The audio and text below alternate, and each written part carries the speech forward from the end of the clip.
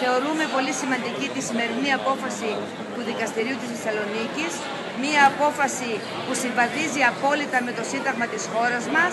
το οποίο επιτρέπει τους εργαζόμενους να αγωνίζονται, να διαδηλώνουν, να διεκδικούν το δικαίωμά τους για μια καλύτερη ζωή,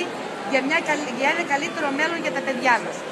Καλούμε όλους τους εργαζόμενους να ορθώσουν για άλλη μια φορά το ανάστημά τους